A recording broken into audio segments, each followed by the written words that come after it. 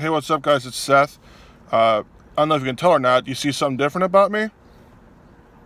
That's right. You guessed it. I'm cool toothpick guy now. I'm gonna constantly have a piece of wood in my mouth the entire time this whole summer.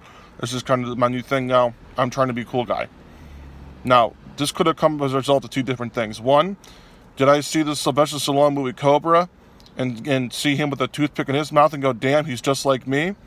Or did I maybe buy that mini crossbow off of Wish? It broke instantly, and I have an excess amount of toothpicks in my room that I might as well make use of.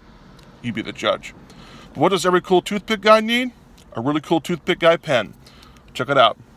America's pen, right here. I just really hope the incels don't ruin this look.